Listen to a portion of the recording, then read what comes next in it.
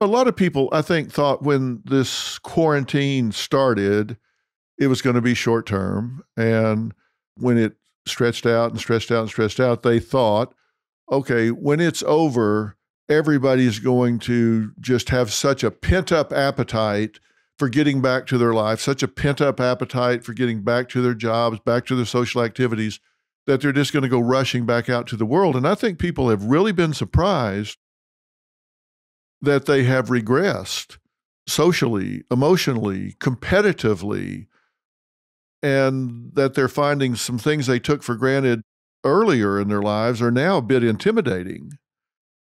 So they're kind of sticking their toe in the water a little bit.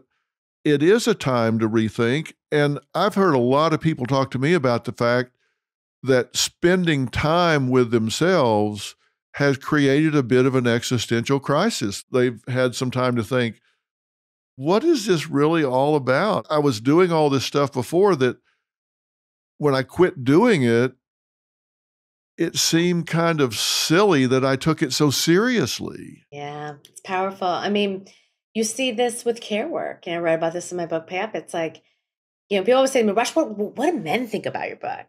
And I'm like, no, no, no, they're with me. You know, they want they want to spend time with their kids too.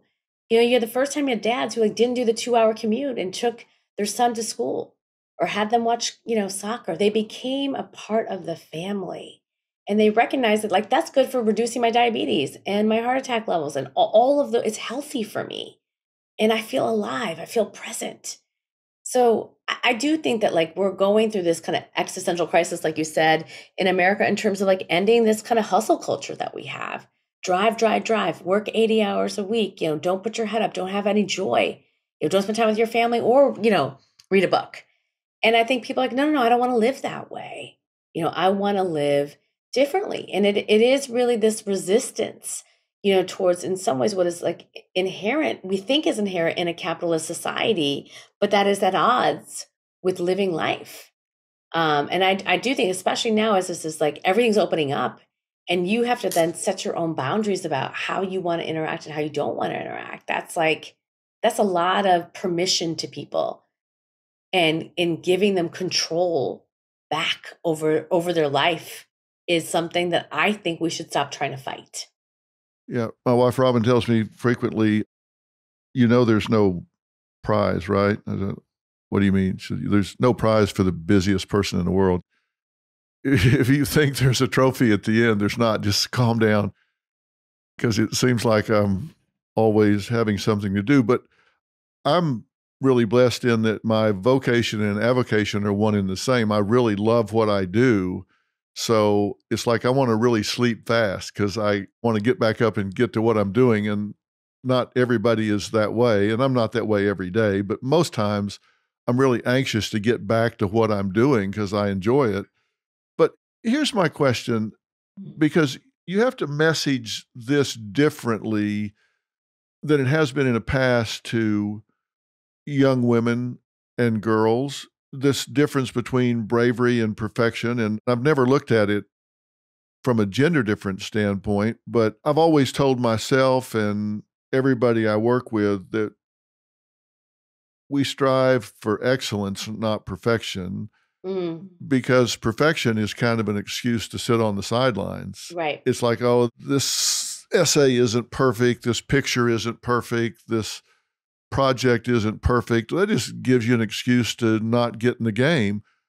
Whereas if you strive for excellence, you just put it out there and you see what you got. But I'm really wondering if what your take is on what we're doing in colleges and universities today with young people in terms of preparing them for the competition of the real world. Because I always looked at universities as a place where we went for an exchange of ideas. It's a place where we went to hear someone that thought differently than ourselves, mm. where we went to have an honest intellectual exchange, debate, discourse. Now a third of students think it's okay to yell down someone, the speaker that yeah. differs from your point of view. they demonstrate against having someone on campus that disagrees with them. They complain to administration if a professor or instructor has a different point of view and advances a course curriculum that requires them to resolve cognitive dissonance by taking the other side in an argument. We create safe spaces. We do those sort of things instead of causing them to deal with discord. I wonder what you think about that. You know, when I was in uh, when I was at Harvard and I got my master's, um, the Taliban came to speak, and I think I'm so happy that I got to sit in that room and listen to what they had to say. Because I think the only way that you can fight and that you can be an activist and that you can shift is to understand what people who are diametrically opposed to what you believe say. You know, I've been, I wrote an op ed the other day about abortion. You know, six out of 10 women who get an abortion are mothers. And there's been a lot of interesting comments on my feed. Now, I don't delete them, I read them, every single one. And so I think as a again and from from my perspective i want to i want to give the opposing side room. I want to i want to have relationships. I want to break bread with people who don't believe what i want what i believe because that's the only way that we can really really really push and re-examine you know our own argument and our own viewpoint. And the, and the reality is especially in this this country's this country is so divided, but it's so also not divided, you know, because we push people to the opposing sides rather than try to find a common ground. And I think that that radically has to change. It's because the thing is, it's like, it's not actually building, like, it's, it's kind of like what I say about failure. Like, I'm obsessed with Serena Williams. And, you know, Serena Williams sits at the edge of her ability, and a coach who's saying, do it again, do it again, do it again the only way you can be great is if you do it again and do it again and do it again. Now, the only way I can be a great social servant, a warrior, a change maker is if I really understand what is driving people to believe what they believe and how do I get them to come over here a little bit. Right? Like, so if I spent all my time talking to women, if I spent all my time talking to girls, I would never know how to change the behavior of men. I spend most of my time talking to men and audiences that may not, you know, and and you know what? Guess what? Now 50% of girls who code teachers are men. Half of my board are men. My first three funders to my Marshall Plan for Moms are men, right? Because the only way we're going to get to equality is with men as our allies and as our partners in crime. But that means that we got to have a lot of conversations, a lot. Yeah, if people had that attitude, we would be having a lot of these conversations that aren't being had right now.